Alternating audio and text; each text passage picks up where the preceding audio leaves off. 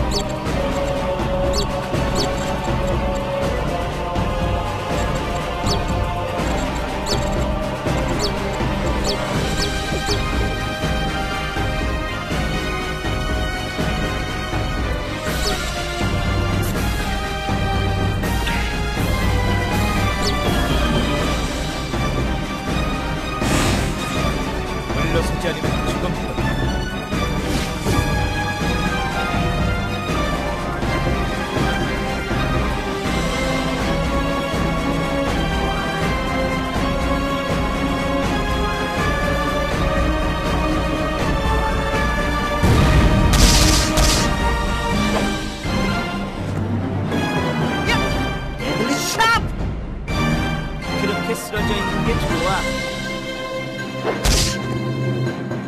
고작 이 정도냐 너의 한계는